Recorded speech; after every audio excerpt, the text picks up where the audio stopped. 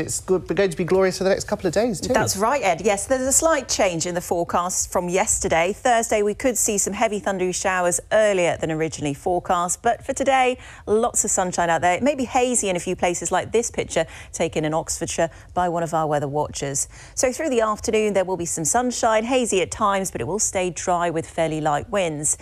And temperatures, as a result, will be slightly higher than recent days. We could see a potential high of 25 to 26 Celsius. The winds fairly light during the course of the day, and they stay light overnight tonight. So very like recent nights with the cloud, the cloud disappearing. We could see some shallow mist and fog patches develop during the early hours of the morning, and temperatures will range between 7 and 12 degrees. So to start tomorrow, we'll have blue skies overhead from the word go, very like today. Lots of sunshine on offer, feeling warmer than today. Temperatures in the high 20s, 20 27, maybe 28 degrees with the fairly light winds, and there will be some patchy cloud at times.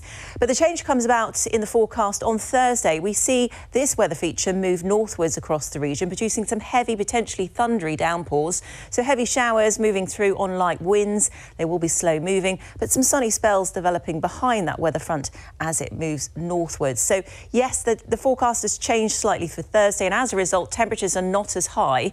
We were expecting Thursday to be the warmest day of the week, but probably tomorrow will be the warmest day 26, 27, maybe 28 degrees, turning slightly cooler as we head into the weekend, but also more unsettled with low pressure. I'm off to enjoy that sunshine whilst I can. Alexis, thank you. That's it from us this lunchtime. Thanks for watching. We're back with Saturday at half past six. Good afternoon.